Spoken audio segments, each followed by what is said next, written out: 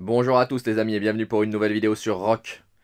Aujourd'hui les amis, plein de choses à voir, on a la nouvelle semaine d'event qui vient d'apparaître, on a une mise au point à faire sur la vidéo d'hier, on va en reparler hein, sur Farm et Galban, mais également les paris, puisque au moment où vous regarderez cette vidéo, alors je suis dans les mêmes conditions que vous, je ne connais pas encore les résultats, mais au moment où vous allez regarder cette vidéo, on saura si on est riche ou pas.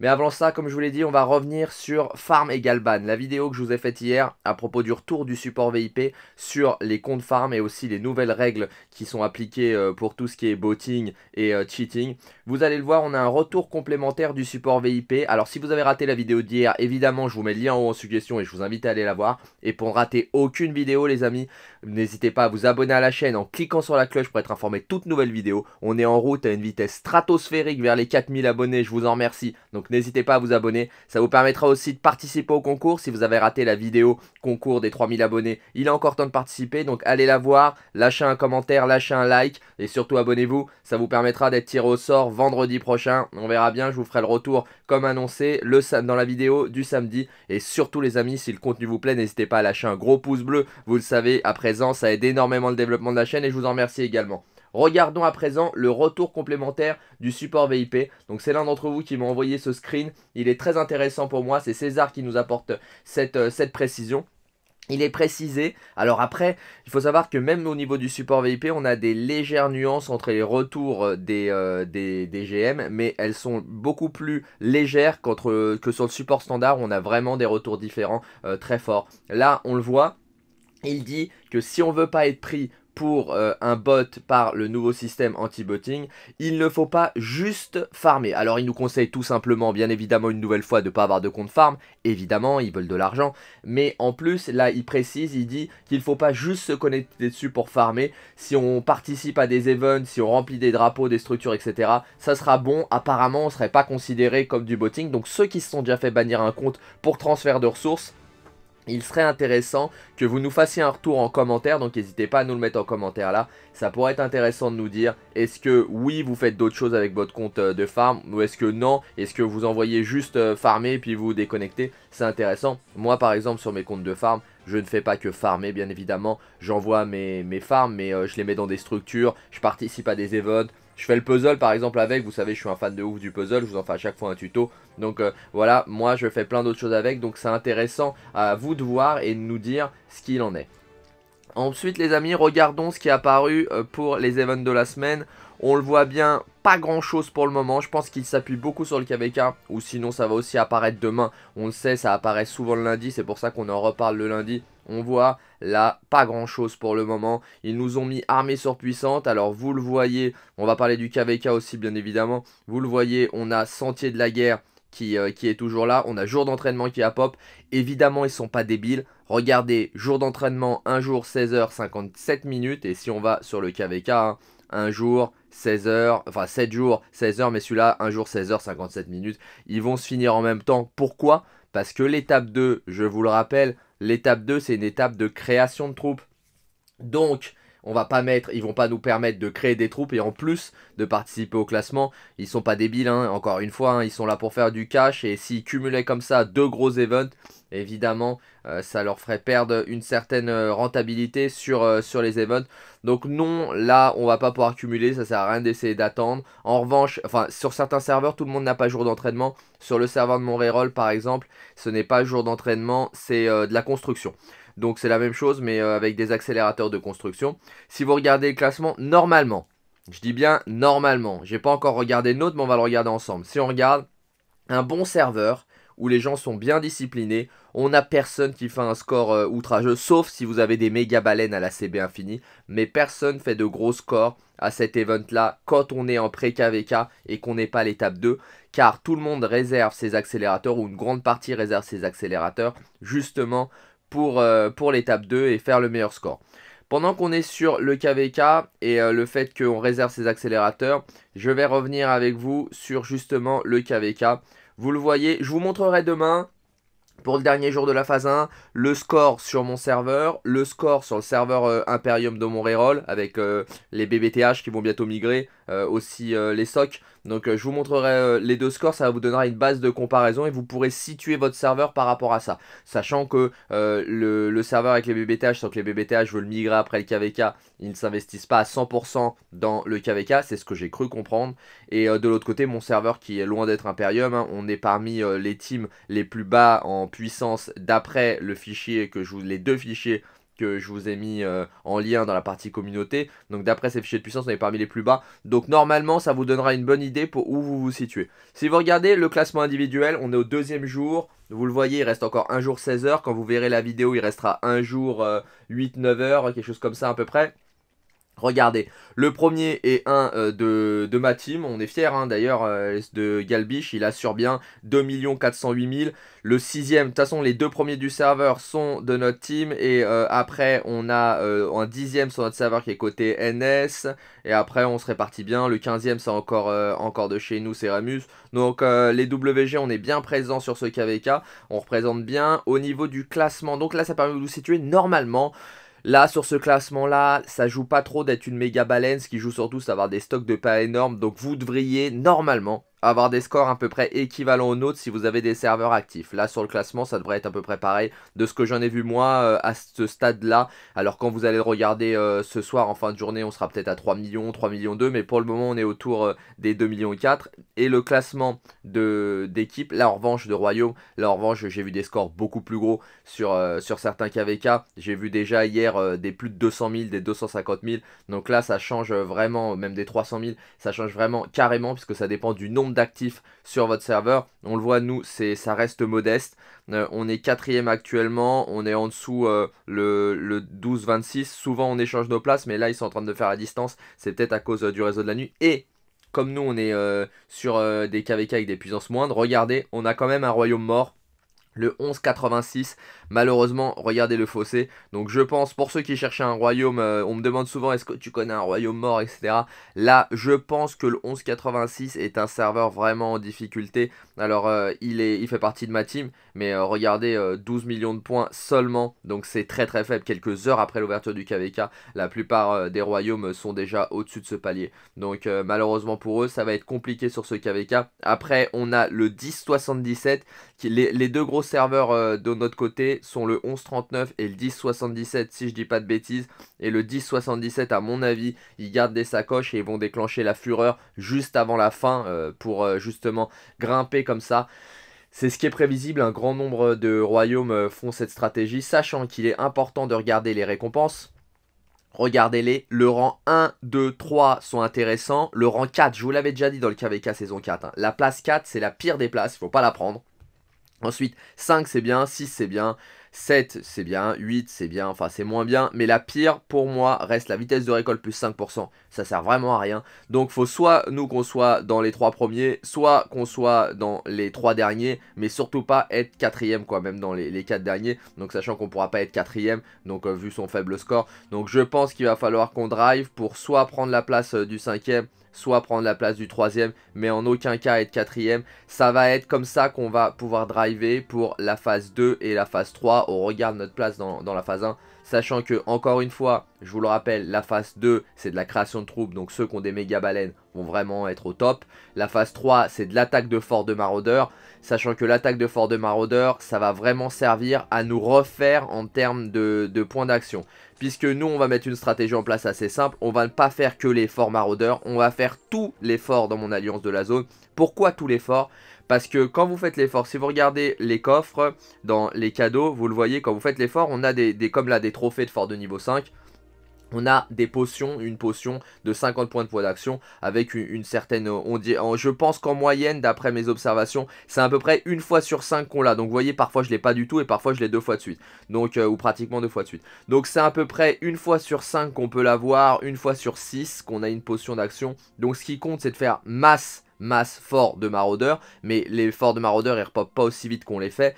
Donc ce qu'on va faire, c'est qu'on va faire tous les forts de la zone, un maximum, et un maximum avec les rerolls, puisqu'on est beaucoup, un très grand nombre, et c'est souvent comme ça sur tous les serveurs. Sur vos comptes de farm, vous avez très souvent des 200 000, des 300 000, des 400 000 euh, points d'action en potion sur vos comptes de farm, s'ils sont assez élevés, vous faites ça qu'avec vos comptes de farm, si vous êtes 20, 30, 40 à faire ça qu'avec vos comptes de farm, vous allez récupérer sur 3 jours d'event vraiment énormément, plusieurs dizaines de milliers de points d'action en potion. Donc vraiment, c'est la stratégie pour se refaire avant le KVK parce que vous aurez besoin de, de points d'action justement pour le KVK. C'est pour ça que pour faire vos points d'honneur, c'est pour ça que cette phase-là, pour moi, elle est vraiment essentielle. Il faut vraiment la faire, principalement avec vos rerolls, parce qu'avec vos mains, vous n'allez pas claquer vos potions de points d'action, alors vous en aurez besoin pour les points d'honneur.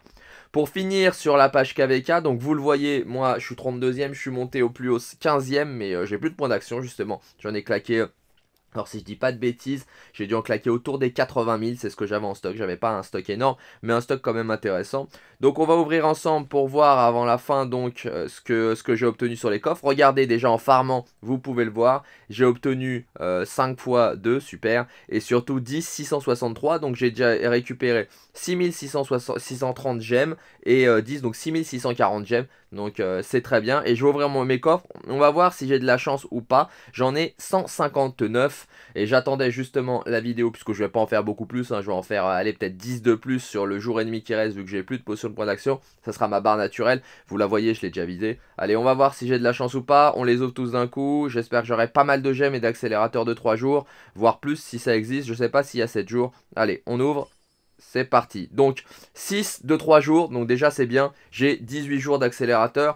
Là, je suis content. Ensuite, j'ai 600 gemmes là. J'espère que j'en aurai plus. 7 accélérateurs de 24 heures, pas mal. Pas mal. 31 de 8 heures, 8 clés en or. 231 points euh, individuels, c'est super ça, ça me fait pas mal, ça me fait 1 million. Donc euh, là, c'est vraiment top de ce point de vue-là. Ensuite, j'ai 800 gemmes, 36 de 3 heures. Vous voyez, ces coffres-là, ils sont tout simplement énormes. Regardez ça, quoi.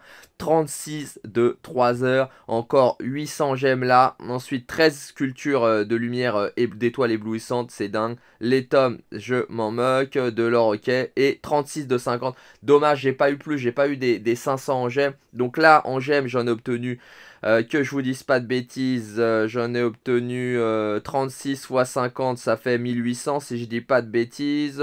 Ensuite, donc 1800 gemmes plus 800, 2600, 2600, 3200. Donc j'ai obtenu 3200 gemmes, c'est pas énorme pour 150 coffres, mais c'est pas mal. En accélérateur, j'ai obtenu 18 jours, 18 jours, 25 jours, 25 jours, 25 jours, 8, 9, allez, 34 jours, 34 jours et là j'en ai obtenu 4, allez j'ai obtenu 38 jours, allez autour de 40 jours j'ai obtenu un tout petit peu moins, donc 38-39 euh, jours, donc c'est pas mal et puis après euh, de, des sculptures, des tomes du savoir, la 740 000 en tomes du savoir, j'en ai eu d'autres des tomes du savoir ou pas, non j'en ai pas eu d'autres, et puis euh, les points d'honneur individuels ça paraît rien mais avec un million de points on peut acheter des trucs sympas, donc là c'est bien cool, je suis bien content de ce tirage, il est pas dingue mais, mais il est pas mal, j'en suis, suis satisfait, n'hésitez pas vous à me mettre en commentaire ou avant moi, avant moi envoyer des screens sur Discord hein, pour me dire euh, ce que vous avez eu. C'est toujours intéressant, ça me permet de faire un comparatif et d'avoir une bonne base et de vous en faire part. Après, ça permet de faire euh, une règle ou pas. Parce que certains là disent envoyer 3 fils, envoyer 4 fils, envoyer 5 fils.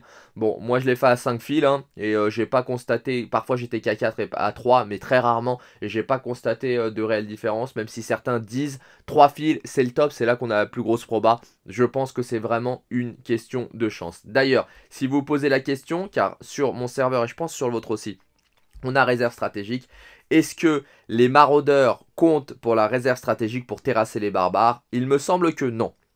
Moi, quand j'en ai terrassé, j'ai pas eu de coffre. Donc, corrigez-moi si je me trompe en commentaire. Mais de mon point de vue, il ne compte pas pour euh, l'event réserve stratégique. En revanche, je crois encore une fois, même j'en suis sûr, puisque j'ai fait que ça ce matin, j'ai pas fait de barbare, j'ai fait que euh, des maraudeurs un petit peu, j'en ai fait une quinzaine. Et si on va dans la ligue, ils ont compté, et c'est ça, qui est intéressant, et c'est pour ça que les, les, events ne se comportent pas pareil, et c'est pour ça que parfois c'est patché, j'ai du mal à vous dire si c'est toujours viable ou pas.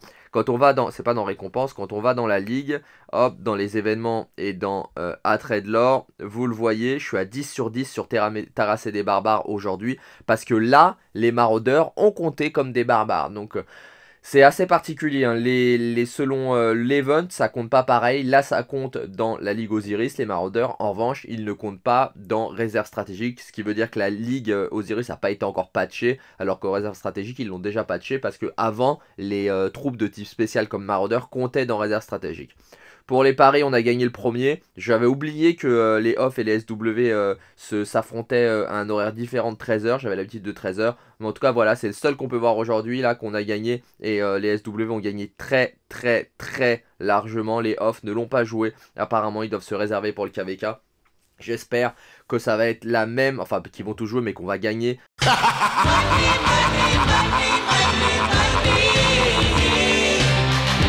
Nos autres paris, on va bien le voir. En tout cas, gros espoir. À 15h heure française, 13h UTC, on sera fixé si on a eu raison de faire de tels paris. On le verra bien. Pour finir les amis, on va parler de ce retour, pas ce retour, de cette information donnée sur le Discord officiel de Rock qui, moi, franchement, ça me dérange, même si on le sait, hein, ça n'a rien de nouveau, on le sait, les Américains sont avantagés par rapport à nous, mais le voir concrètement à chaque fois, ça me fatigue, puisque déjà, on le sait, les Américains et les, euh, les Asiatiques payent moins cher que nous les packs. Regardez là, ça date de vendredi, une nouvelle fois, il y a un système qui a été mis en place pour favoriser. Donc aux, US, on a un système de Google Play Point Reward qu'on n'a pas euh, en Europe, qu'on n'a pas en France et qu'on n'a pas en Europe, qui permet de gagner des points. Avec ces points, vous pouvez obtenir euh, d'autres choses. Euh, vous pouvez racheter des packs par exemple, faire plein de choses. Et ben là, on, il nous indique Cheesecake, qui est le modérateur officiel, de, le community manager officiel, le numéro 1 des community managers hein, de, de chez Lilith, qui est employé de Lilith d'ailleurs, qui nous indique qu'ils viennent de mettre en place. Alors, c'est bien hein, pour eux de mettre des partenariats, mais le problème c'est que nous on l'a jamais parce qu'il n'y a pas de système de reward sur Google Play. Donc pour, euh, il va avoir une promotion du, euh, que je vous dise pas de bêtises, du 6 aux États-Unis, donc ils inversent du 6 avril au 9 avril, donc de, de, midi à midi, ou de minuit à minuit plutôt, où on va multiplier par 3 les points Google Play quand on achètera des, des, des, des, packs dans le jeu. Donc c'est une promotion Rise of Kingdom. Lorsqu'on achètera des, des packs pour Rise of Kingdom, on multiplie par 3 les points Google Play. Donc euh, super, hein. donc c'est pour tous ceux, ils le mettent, hein. c'est pour tous les gouverneurs qui sont dans le Google Play Point euh, programme, qui doivent pas rater cette opportunité et que c'est euh, seulement disponible pour les citoyens américains. Donc c'est vraiment...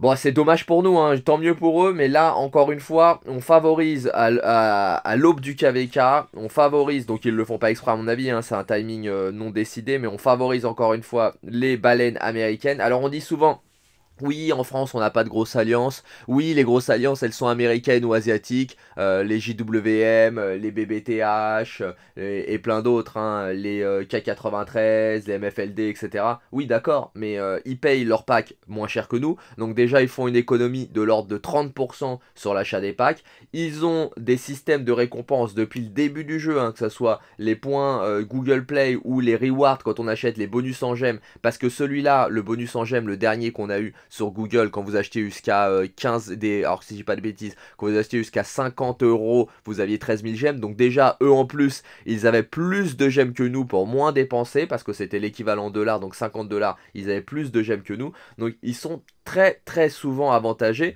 Donc à investissement équivalent ils, ont beaucoup plus de rewards et de gains que nous. Donc euh, c'est vraiment vraiment difficile pour, donc, pour les Européens. Alors après il y a le contre-exemple, hein, Baba qui est quasiment le plus gros dépensier du jeu. Mais voilà, le plus gros dépensier, il, parce qu'il est allemand, il achète, enfin il est d'origine turque mais il est allemand et il achète donc en euros. Mais il aurait fait les mêmes achats aux États-Unis ou en Asie, il aurait eu 30% de plus, ce qui est énorme vu ce qu'il a investi dans le jeu. Donc vraiment, ça c'est un truc qui, je dirais pas qui, qui, est, agaçant, mais euh, ça peut être dérangeant pour les joueurs euh, qui investissent le plus. Et euh, bon, à mon niveau ou au niveau des free players, euh, moi je suis pas un gros dépensier, je suis un dauphin, comme je vous dis, je suis pas une baleine. Donc euh, certes, ça aurait fait une petite différence en termes de gains, mais c'est pas ça qui ferait que je serais, j'aurais tous mes, mes épiques, mes légendaires maxés. Ça aurait changé peut-être, j'aurais peut-être un légendaire en plus de maxé, mais c'est pas ça qui ferait la différence aujourd'hui sur, mon compte, sur les free players ou le spawner non plus. Mais vraiment pour les grosses baleines, ceux qui sont à plus de allez,